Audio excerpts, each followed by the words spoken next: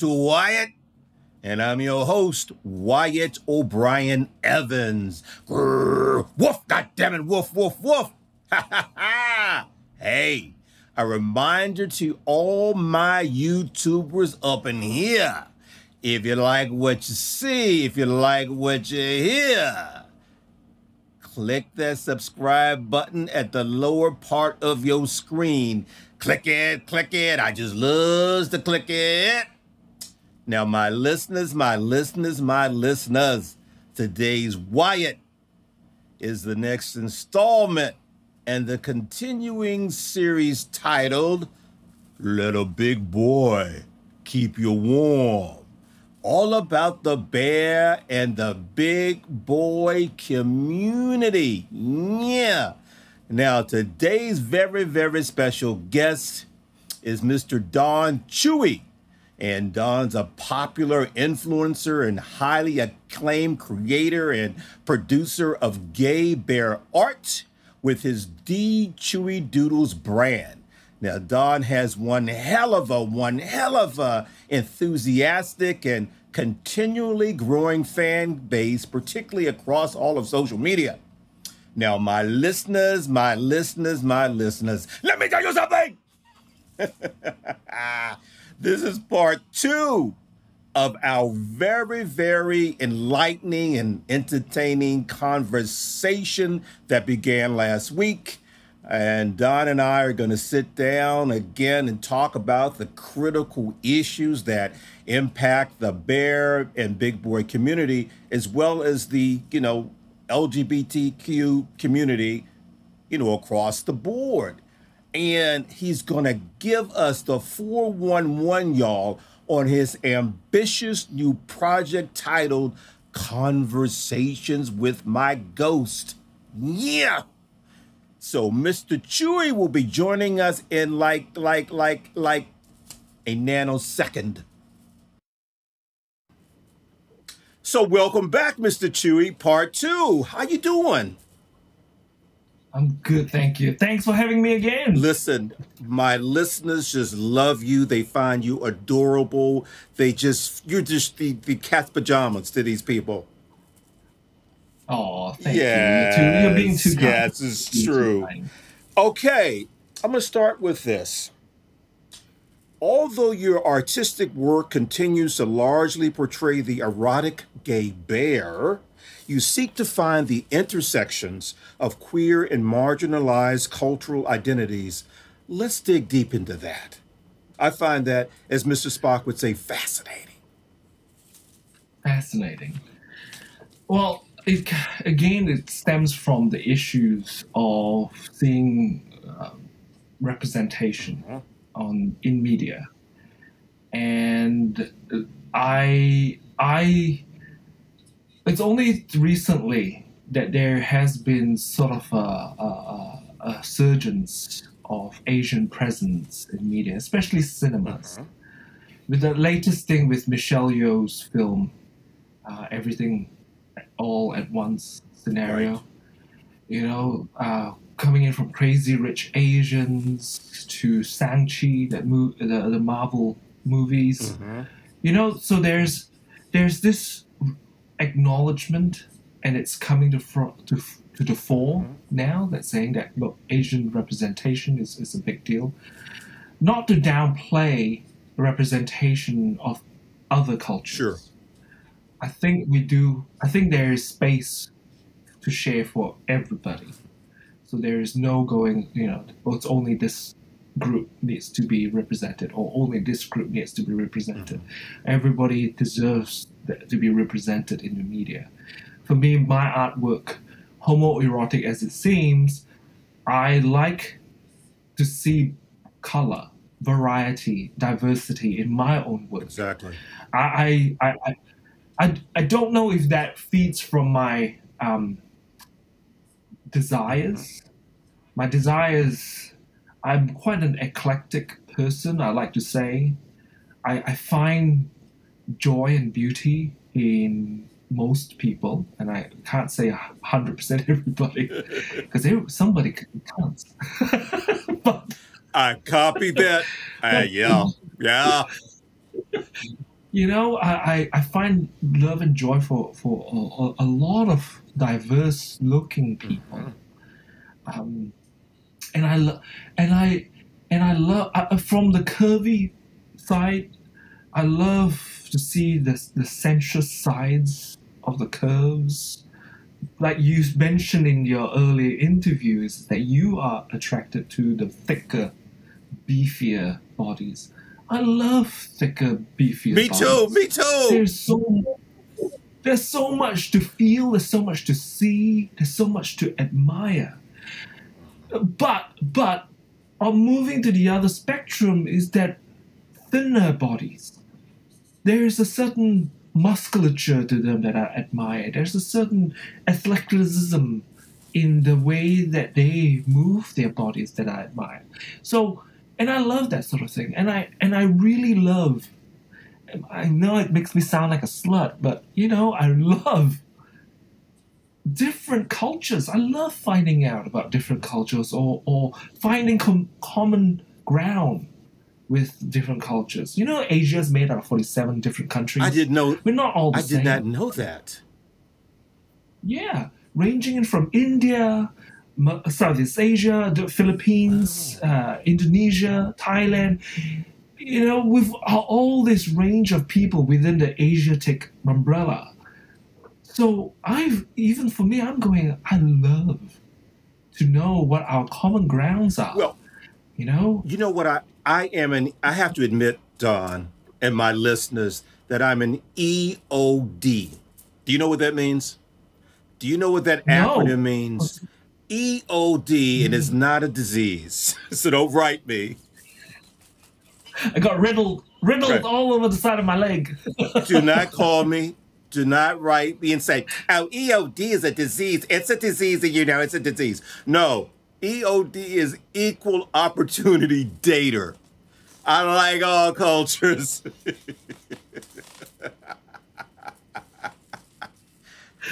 I yes, okay. I'm an EOD, equal opportunity dater. now. That's good. That's good. I'm gonna have to put that on my there you go. tombstone. I'm gonna have to put that on my own yeah. tombstone. I won't charge you a thing. You can have that. Thanks. You're, thanks. You're I mean, you're my buddy. You're my friend, so I'll give it to you for free. But thank you. I appreciate that. Yeah.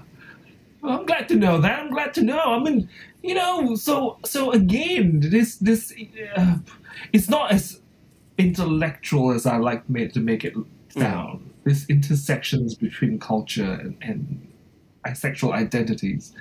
But it's a big deal for me because the whole um, being treated differently, even by the community right. that I, I, I, acknowledge and belong to, or I identify to, with, um, which is the bear culture.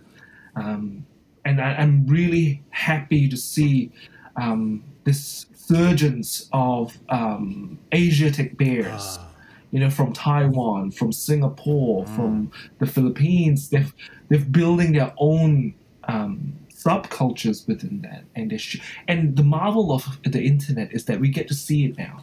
We get to see this representation so true. now. You know?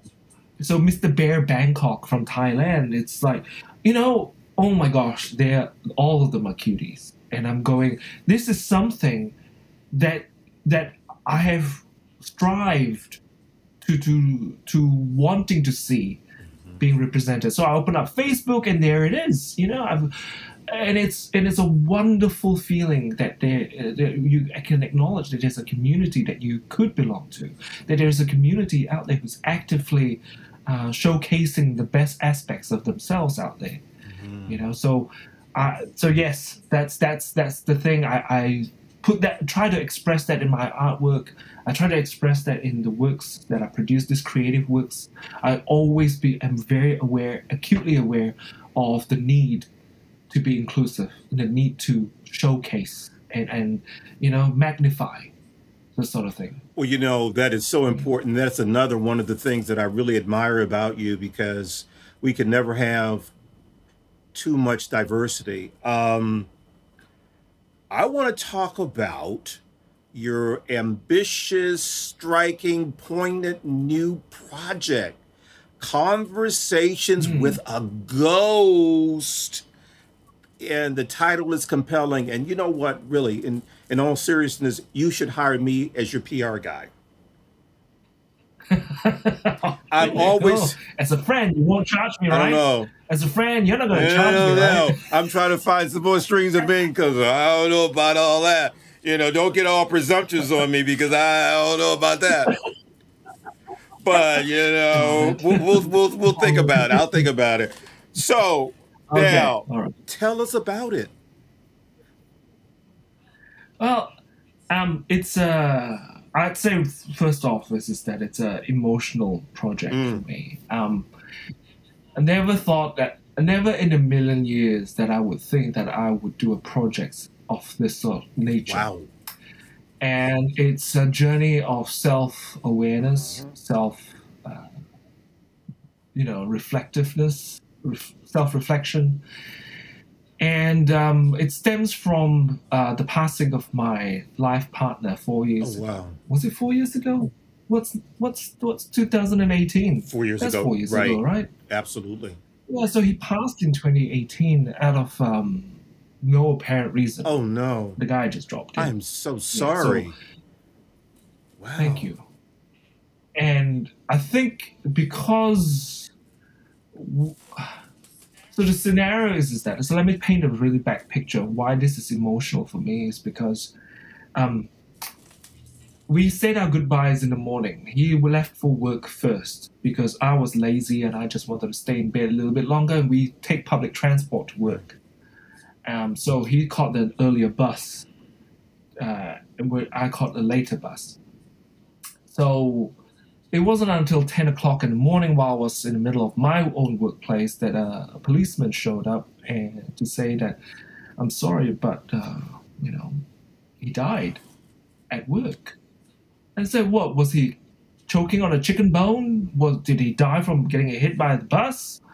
You know, what, what happened? No, he goes, we know we found him um, in the bathroom of the workplace and all indication it looks like he just collapsed.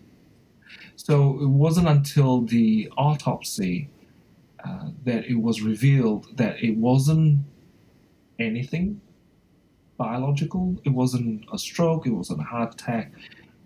By all counts, it just looks like he just died. So it was very upsetting to me Oh, yeah. because the last memory I had was saying goodbye in that morning. He didn't die of any obvious causes. Hmm.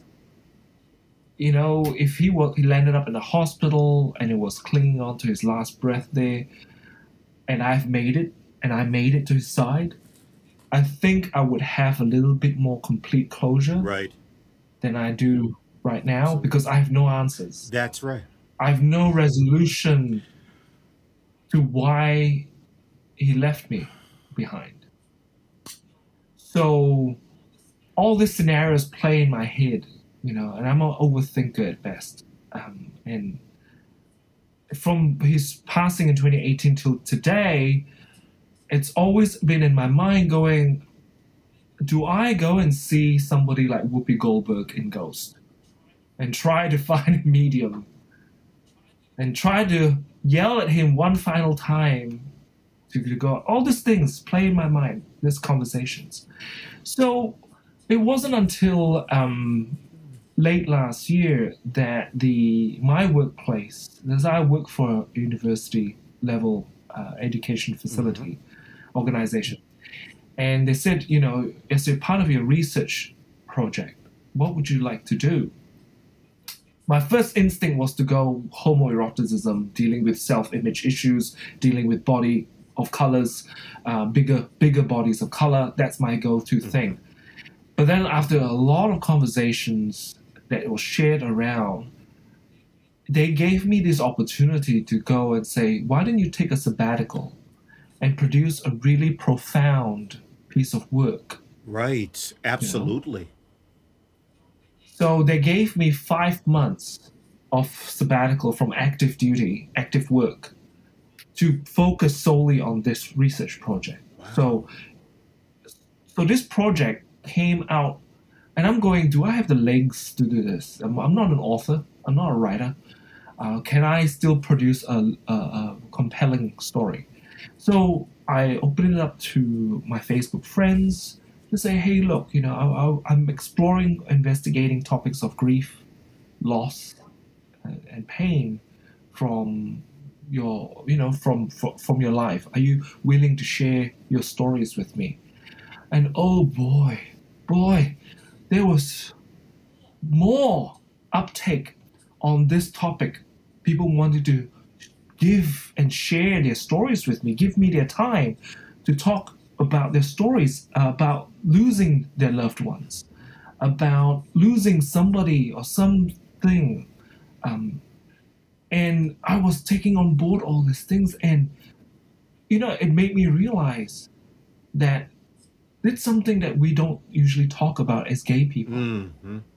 And I think, and then del- delving deeper into it is that probably, and I know, and I know this is pretty long-winded. No, not at all. But I think it's because we grew up in a very traumatic uh, years of our lives in the 80s mm-hmm. where hiv and aids oh, yeah. was a killer absolutely you know? People were dying left right and center. We were losing friends and family chosen family left right and center. Mm-hmm. we didn't have time to process this pain. We didn't have time to process the trauma. You know being thrown into this whole pandemic again just brings resurfaces out all this trauma for us. And and i think we never got to acknowledge the sort of pain that gay people experiences being ostracized from your own biological family being left out of life uh, matters such as you know hospitalization such as insurance payouts being recognized as the spouse being recognized as a family member, legitimate family member by by other family members. You know, so we have all this pain and getting and we realized that it's not a self-indulgent project. And it's very important to hmm. say. At first I thought that, oh my gosh, I'm very selfish because there are other hmm. people who have gone through bigger trauma, bigger bigger losses. You know, plane crash, warfare, cancer. You know, I'm going. My my experiences seems quite insignificant compared to all that. But after all this conversation, the common thread of it all is that loss is loss, pain, grief is grief. It doesn't matter. It's just we are all human beings and we share this capacity to mourn. So, yeah, that's that's the thing. You took the words right out of my head. Loss is loss, and everyone has the right and the need to be able to express that loss and get healing. And I think too many LGBTQ individuals, Don, don't feel that they are worthy enough to deal with loss and to get healing. You know, yeah. I, we're so, we're yeah. so marginalized that we don't really believe in our core and our gut that we deserve healing. That's right. And your loss is just as significant as mine or Joe Blow's or what have you. And if you do not deal with it, it will eat you alive. And I'll say another thing before I shut up for a few seconds is that you're actually doing you're providing a needed, essential service for a lot of us who you're the voice of expressing that, being able to express that loss and also to get some healing. So it's cathartic, you know. Um, yeah. Yeah, it could. Yeah, and the catharsis is in the production of this mm-hmm. project for me. Yeah. For the past month or so, you know, I've been putting it into paint, in painting up the work. The, the it's a graphic novel, just so uh, for those who are just tuning in, it's a graphic novel project. So it's in a comic form. Um, this conversations with my ghost is kind of like the imagined conversations that I have with my partner on the other side, who's on the other side. Uh, I won't give too much, reveal too much, but it's it is a journey of um, surrender. Ah. Surrendering. It's a journey of. It's a story of surrendering to my grief, and it's a semi autobiographical work because although it's based on the event that happened to me, it also picks up from influences from other stories that got shared with me as well by my friends. So, um, so it's it's not a I wouldn't say it's a self-indulgent project, but it's more acknowledging the fact that we have a place in this world that even as gay people, even as the rainbow uh, community, we suffer, we grieve, we lose, we mourn. And it's something that we can and and I gotta say I'm I was very galvanized, bolstered by the fact that I don't know it's because I'm more aware of this, but there are some shows out there that started to deal with this sensitive topic of how people deal with grief and loss.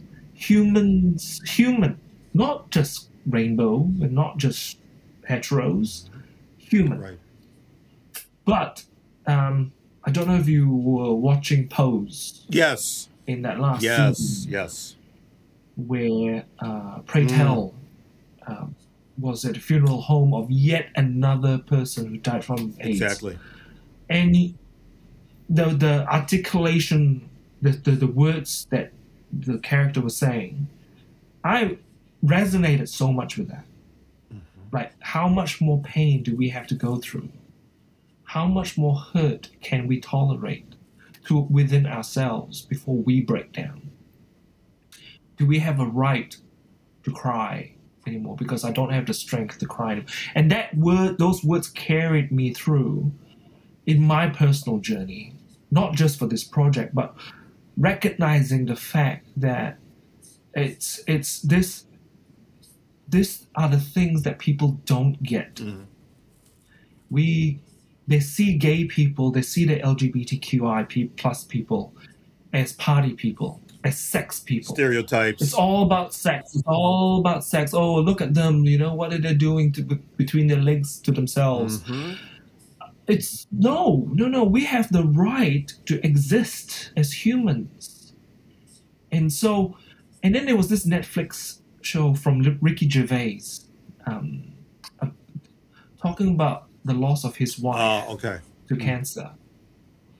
And uh, I, I forgot what the title was, but the moments of the life that he led echoed me. I was doing, Doing that. that.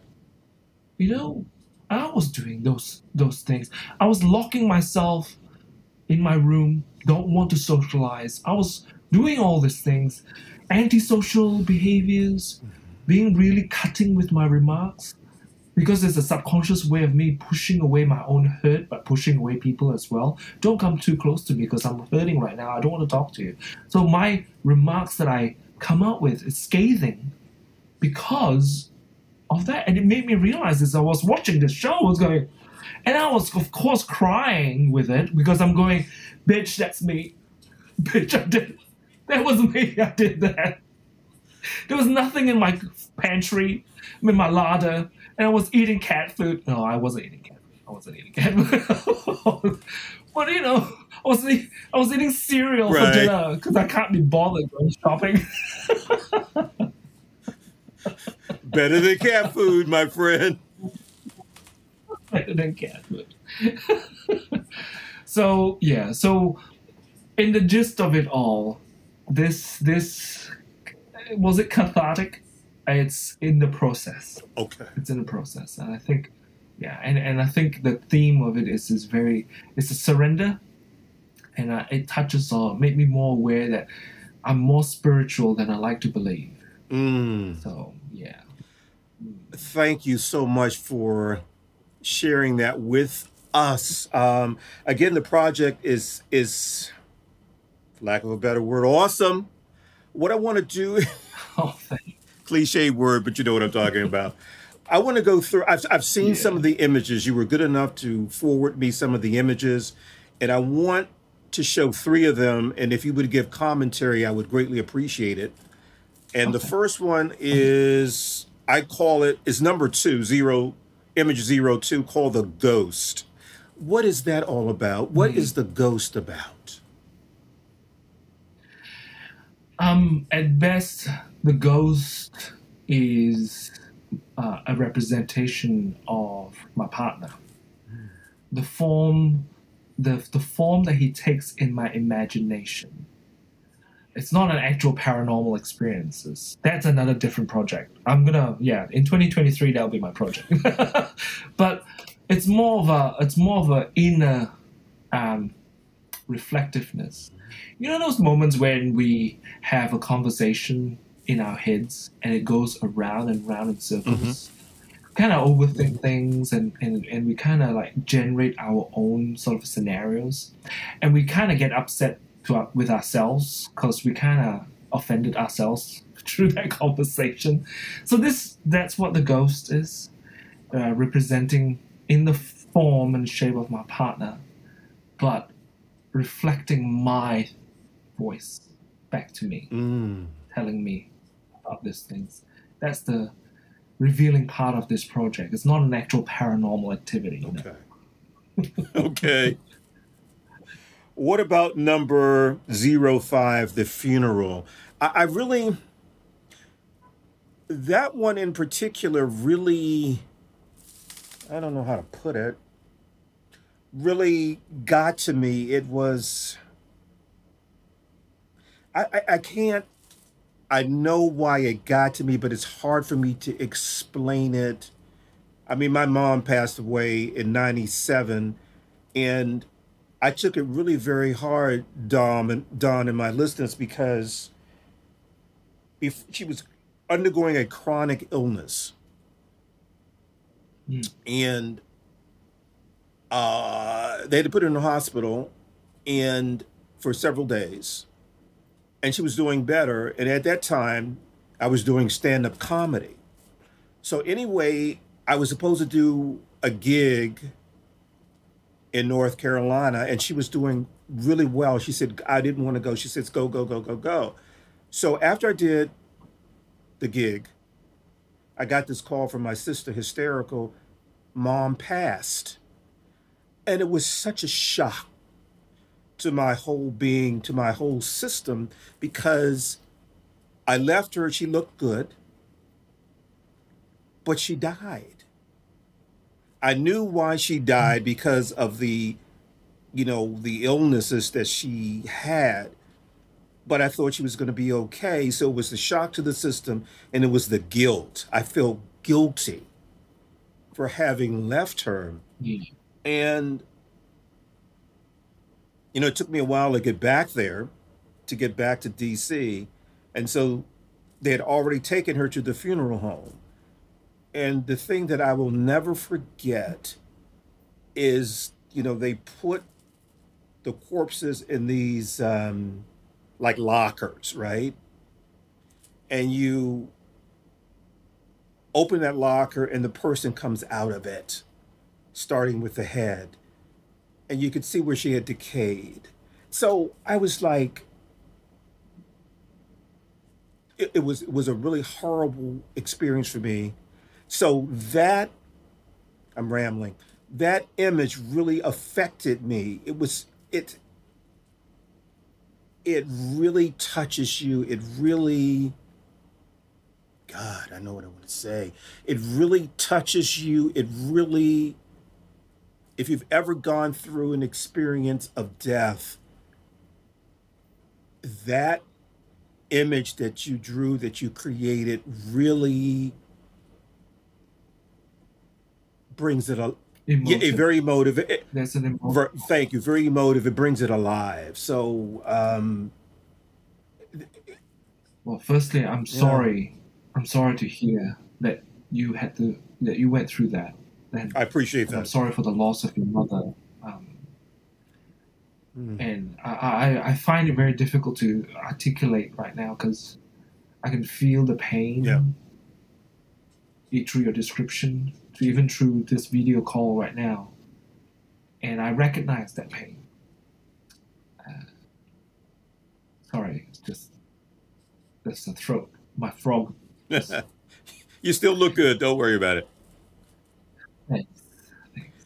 Filters, filters. Um, the, the, the I thank you for for saying that um, that that piece of illustration really touched you. It Touched really you. did.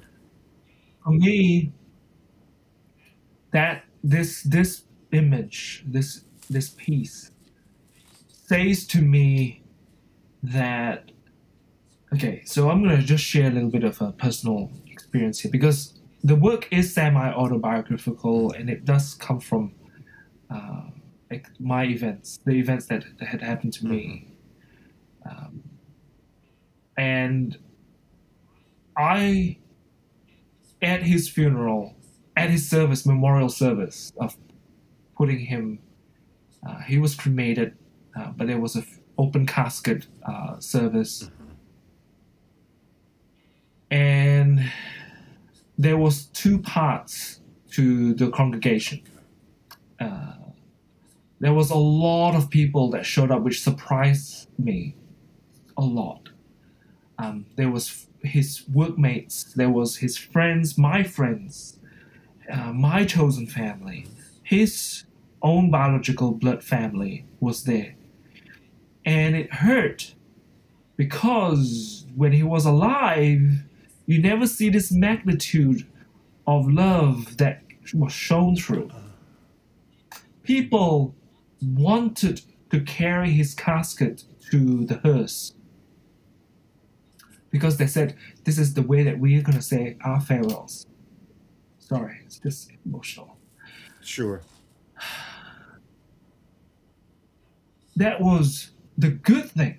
Then the bad thing was is that his family denounced me as his life Oh partner. no. We've been together for 15 years. Oh, no. These are the people that I went to Christmas dinners with and birthday parties, and they, they just said thank you to his best mate, Don. And I'm going, what did you just call me? And they tried to wrestle away from me, wrestle away from me, the decision on how to finally put him to rest. That image, this image here, has me in front carrying his coffin. It's the last act of defiance that I had. Being up there, it was something that was beyond me, something far away that I recall only as a dream because at that moment, it was, I was consumed by not by grief at the time, but for anger. Right. You know? Understandably. and me standing on those and that as you can see in that image on the shores looking far away feeling melancholic and you know, hunched over clouds image in the clouds forming to this particular scene it was not a moment of sympathy it was not a moment of grief. It was a moment of anger and defiance. You had every reason to be defiant and angry. Absolutely. And you had to let it out because keeping those types of emotions in will eat you alive. Yeah. Yeah.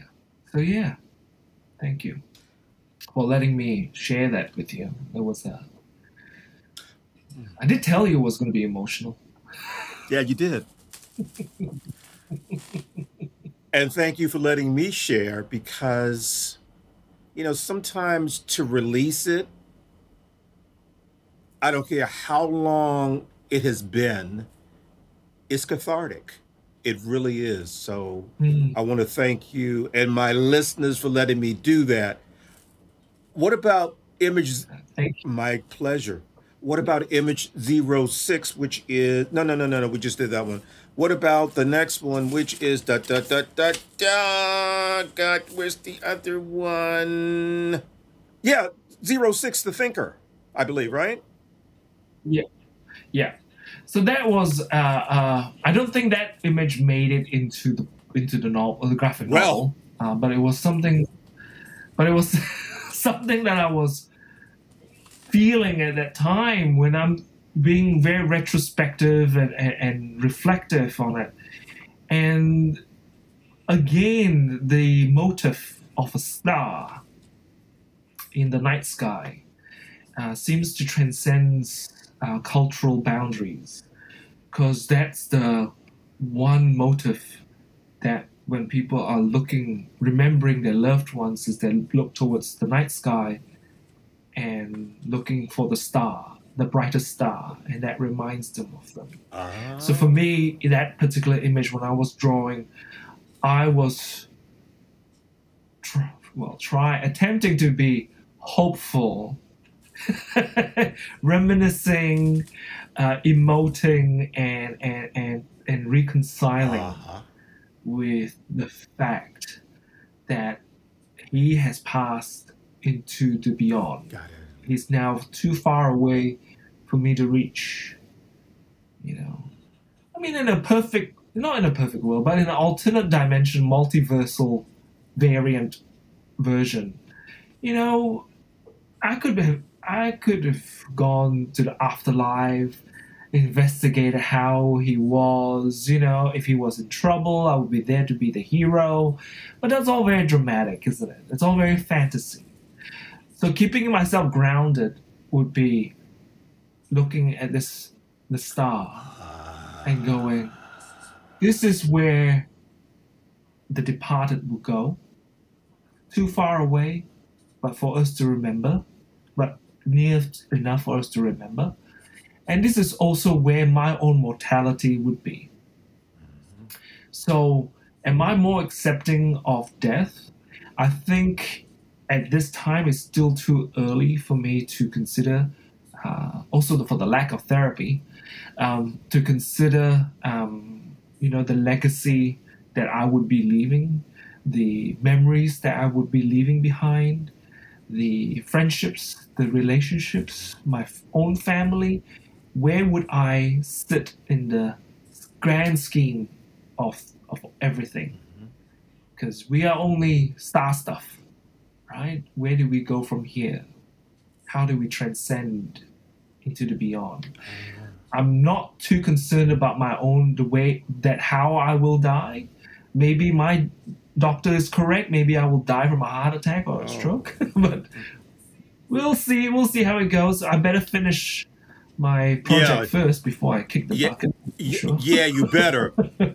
when when will when will conversations with my ghost be available, and how can we purchase copies? Oh, that's great. Great to know because I haven't actually thought about you know putting it out onto the market because it's all been very personable sort of thing. Maybe I do need to hire you Yeah, as you my do. PR guy. You really do. So at the moment, uh, the moment it's in a digital format. I haven't thought. I'm still investigating on how to put it out there uh, as a publication, printed uh, graphic Right. novel.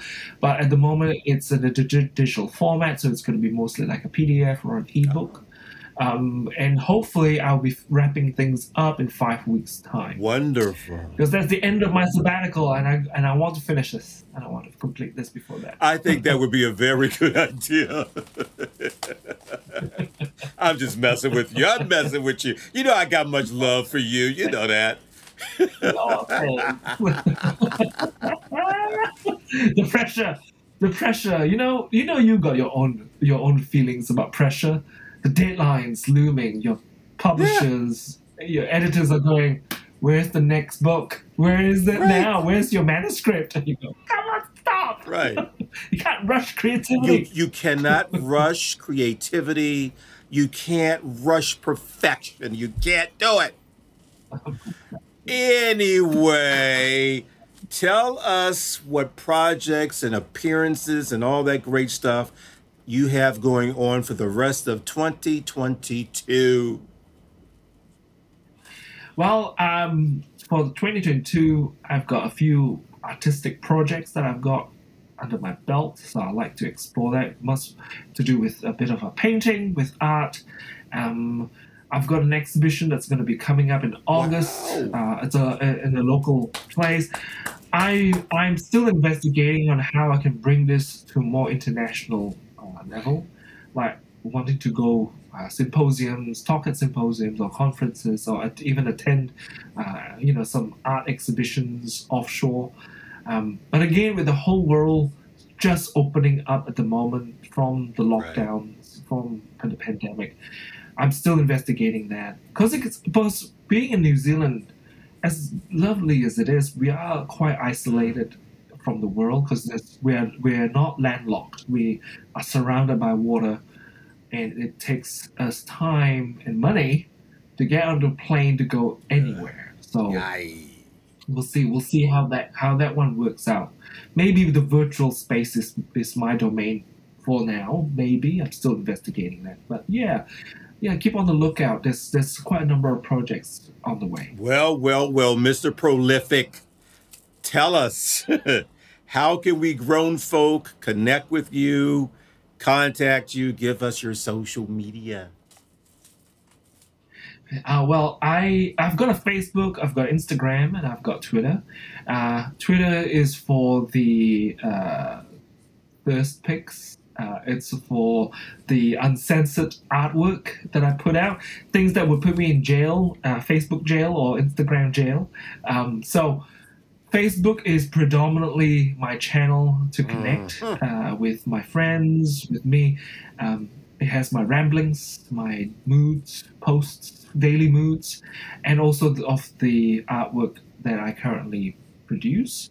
Um, whereas Instagram is more of a work in progress sort of uh, uh, channel where you see more sketching, more doodles, things that I scribble down or whatsoever, uh, those sort of things, and musings, you know, like my around me, my personal music. Ah, And yeah, so all three channels are under the same name, which is D Chooi Doodles, and that's D C H O O I Doodles, all one word, lowercase. That's where you'll find me. I love it. Mr. Don Chooi, thank you for dropping by. Wyatt, you know what, man? This was such, both of these parts were such an essential conversation, and I really appreciate you opening up to us.